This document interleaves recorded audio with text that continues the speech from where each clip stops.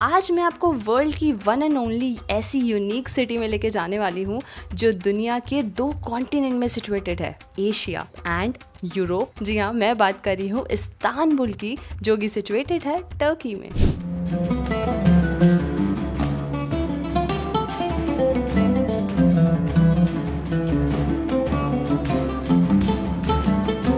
सुबह सुबह उठ के हम इस्तानबुल की गलियों को नाप रहे थे। तो हम आ गए इस्तानबुल में गलाता पोर्ट के पास में, कराको करके एरिया है वहाँ पर। और यहाँ पे आपको बहुत सारी ब्यूटीफुल स्ट्रीट्स मिलेगी और अगर आप सुबह आते हो तो ये सब खाली मिलेगी। और यहाँ पे बहुत सारे कैफ़ेज़ है। दिन की शुरुआत हम कर रहे हैं यहाँ पे ब्रेकफास्ट करने से और यहाँ की लोकल ब्रेड ट्राई करेंगे। So let's go to this place जो कि बहुत फ़ेमस है।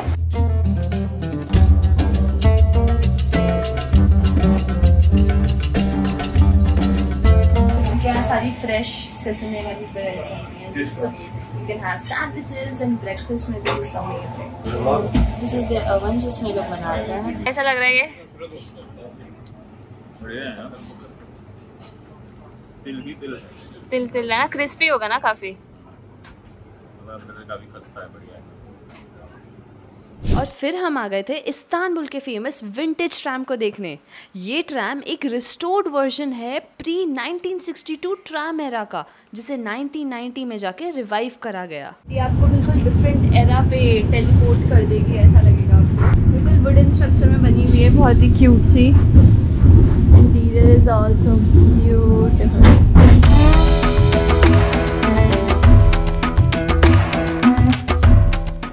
पहुँच गए हैं, गलाता टावर जो आप मेरे पीछे देख सकते हो। एंड यहाँ की एंट्री फ़ीस होती है, यहाँ पे आप जाके ऊपर से पूरा इस्तानबुल सिटी को देख सकते हो, बहुत ही डिफरेंट पॉइंट ऑफ़ व्यू से।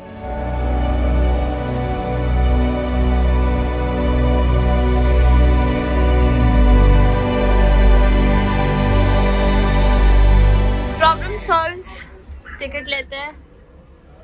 सो बेसिकली हम इस्तानबुल का कार्ड ले रहे हैं and this is 130 lira for 20 rides दो लोग यूज़ कर सकते हैं इस कार्ड को which is quite useful so हम एक कार्ड टॉप अप कर रहे हैं। इसमें आप पैसे एंटर कर सकते हो कार्ड यूज़ कर सकते हो for the payment and you will be ready for any tram ride मिल गया दोस्तों। रिसीट भी मिल गई है। चलो ठीक है डन बहुत इजी मेट्रो ट्रैम थी। और अब हम आ गए हैं यहाँ से, जहाँ पे सिर्फ़ 200 मीटर पे वील रेंज ब्लू मॉस्क कैसा लगा आनंद भुट्टा? जूसी फ्रेशर स्वीट मज़ेदार है।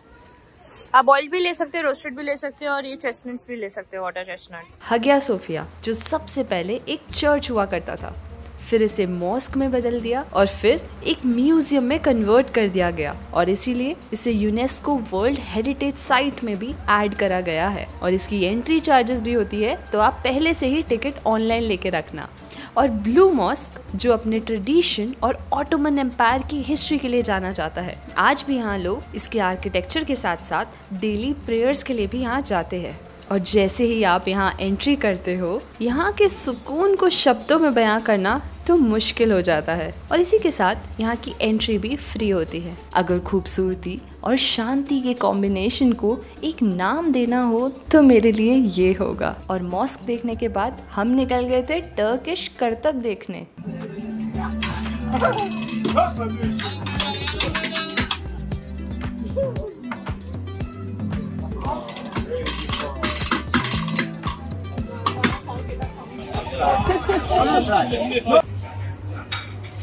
वी आर ट्राइंग क्या खा रहे हैं नाराम टिकली Rolled रोल्ड पिस्ताचियो या डिफरेंट टेस्ट है ऐसा टेस्ट नहीं खाया मैंने। और यहाँ के फ़ेमस कुनेफे खाने आपको हाफिज मुस्तफ़ा आना चाहिए। शुरुआत हमने की ऑटोमन कॉफ़ी से। और उसके बाद हमने खाया वहाँ के कुनेफे। जो कि काफ़ी अलग और डिलीशियस थे। और इस्तानबुल में ये सब घूम के हम अपने होटल आ गए थे थोड़ा रेस्ट करने। तो इस्तानबुल में we have check in to Ramada by Wyndham काफ़ी बढ़िया रूम है, काफ़ी नीट एंड क्लीन और बेस्ट पार्ट है, यहाँ से व्यू बहुत सुंदर है। और काफ़ी मेन सिटी में लोकेटेड है क्योंकि ये।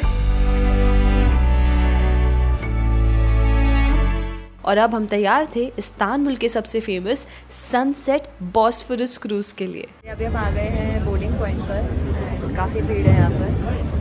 बहुत सारी क्रूज जा रही है यहीं से शुरू होती है। एंड ये हमारी क्रूज है अभी एंट्री पे सब लोगों की चेकिंग हो रही है डिटेल्स की।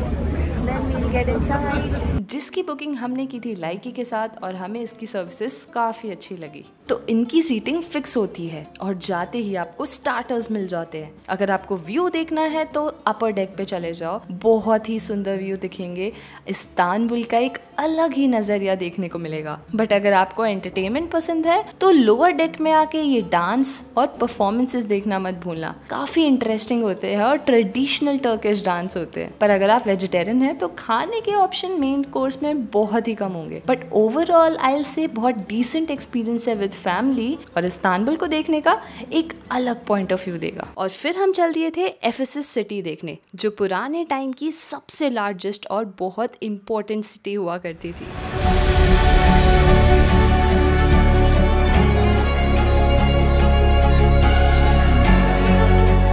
Good morning everyone from Ephesus so हम कल रुके थे सेल चुक करके जगह है वहाँ पर और अब हम आज एफेसस टूर कर रहे हैं। And let's meet our guide. Hey, hi Umar, how are you? Hello, thank you very much. Welcome to Turkey. Welcome to Ephesus. Thank you, thank you so much.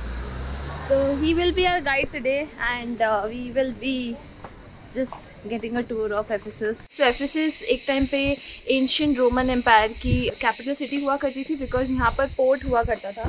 जो पीछे ग्रीन एरिया देख रहे हो that was suppose to be a port but पानी का level काफ़ी down हो गया और अब ये पोर्ट चार किलोमीटर आगे शिफ्ट हो गया। जैसे ये पोर्ट नहीं रहा यहाँ का देन ये पूरी सिटी भी काइंड ऑफ़ खाली हो गई थी because the only reason of staying here was that the port was near. तो एफिसिस टेंथ सेंचुरी बीसी में ग्रीक कॉलोनिस्ट ने फाउंड करा था और मेनली जाना जाता था अपने ग्रैंड आर्किटेक्चर के लिए जैसे gymnasium Gymnasium is the place for young men. They go there, they are training outside. We call it palestra because okay. having a good body shape for that time that means that you look like a Greek or Roman gods. Hmm. It was very important. Political meetings के लिए इतना बढ़िया theatre बना दिया था बताओ it looks like a theatre but ये basically जगह थी जहाँ पे मीटिंग्स हुआ करती थी एंड थिएटर की कैपेसिटी से ऑलमोस्ट टेन एक्स है From that corner to this side it is 140 meters long.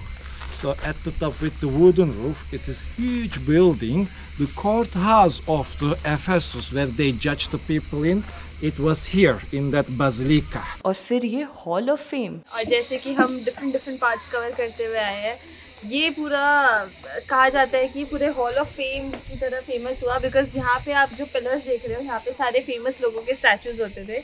और आज भी अगर आप ये सारे, पूरी एफ़ सिटी की बात करो, जो अभी तक सिर्फ़ ट्वेंटी सेवन परसेंट एक्सकवेट हुई है स्टिल अराउंड सेवेंटी परसेंट अभी भी बचा है कि कहाँ पर एक्चुअल पीपल रहते थे। बिकॉज़ ये सारे एरिया में तो इट वॉज़ लाइक यहाँ पे बेकरीज थी पॉलिटिकल मीटिंग्स होती थी टाउन हॉल्स होते थे और सारे गवर्नमेंट के ऑफ़िस थे। अगर आपको हिस्ट्री सच में पसंद है और नहीं भी पसंद है तो एक गाइड हायर करो and just try to understand the Roman and Greek empire how it work then small small things it's quite interesting ये मेरा पूरा टूर लाइक ही ने अरेंज किया था and I am loving it. I'm so glad कि मैं इधर आई and i have a guide who can explain us. And yeah let's move further. क्या है ये जगह? टॉयलेट टॉयलेट और इतने पास पास सिचुएटेड है एंड बैठ के बातें करते थे और अभी ये कैट वही इमेजिन कर रही है आई थिंक और इन सब के साथ यहाँ थी the library of Celsus an ancient world का one of the seven wonders temple of Artemis और ये ग्रैंड एम्फी थिएटर अब हम आ गए एफएसएस के थिएटर में। और ये पूरा एरिया ऑर्केस्ट्रा का होता था और यहाँ पे कैसे एक्टर्स होते थे। एंड इसकी कैपेसिटी ऑलमोस्ट पच्चीस हज़ार है। क्वाइट बिग और ये टेंट से पूरे कवर्ड होते थे। एंड अभी भी यहाँ पे कॉन्सर्ट होते जैसे कल यहाँ पे कॉन्सर्ट हुआ था। And this is such a lovely place to attend a live concert I mean इस टूर के बाद यहाँ पे एक एक्सपीरियंस म्यूज़ियम है। जहाँ पर आपको पूरा प्रॉपरली हिस्ट्री को ब्रीफ किया जाएगा फिफ्टीन मिनट्स में। और आई नो आप by the end of the tour थोड़े थक जाओगे।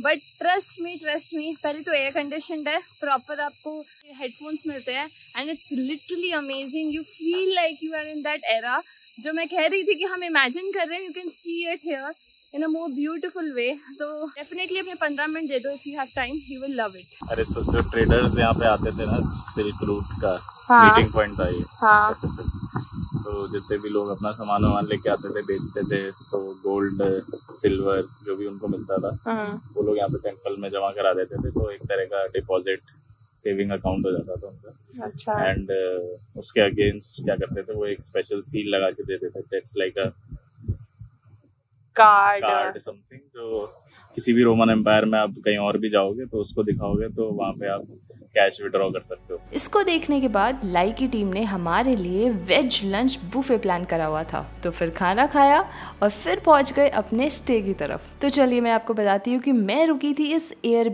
में जिसकी डिटेल्स डिस्क्रिप्शन बॉक्स में है and it was such a pleasure living here बहुत ही प्यारी होस्ट और बहुत ही ज़्यादा सुंदर और क्लीन विला था ये। दैट्स द किचन जो पूरी प्रिपेयर कर रखी है। This is the view from the balcony roads कैसी है नद टर्की की। मज़ा आ रहा है चलाने में। स्मूथ स्मूथ स्मूथ कुछ हाईवेज होंगे बिल्कुल ऐसे एकदम बढ़िया सिक्स लेन 140 की स्पीड लिमिट वाले। बट कुछ कुछ एरियाज़ में थोड़ा सा अगर आप पहाड़ चढ़ रहे हो तो नब्बे सौ की स्पीड वाले भी होंगे।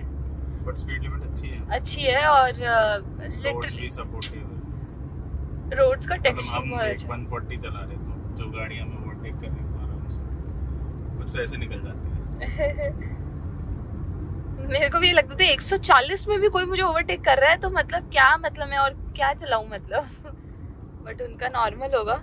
और इसी के साथ टाइम आ गया था टर्की की 10 दिन की रोड ट्रिप को एंड करने का। मन तो नहीं हो रहा था, पर इस कंट्री का हमारे दिल पे एक अलग असर था। But thank you so much आप लोगों का जिन्होंने पूरे वीडियोस देखे। अब इसी के साथ टाइम आ गया है टर्की की सीरीज़ को एंड करने का और इस खूबसूरत 10 दिन की रोड ट्रिप को एंड करने का। मन तो नहीं है, पर जाना पड़ेगा। पर वीडियो बंद करने से पहले लाइक शेयर और सब्सक्राइब करना मत भूलना और बेल आइकन दबाना मत भूलना फॉर नेक्स्ट सीरीज़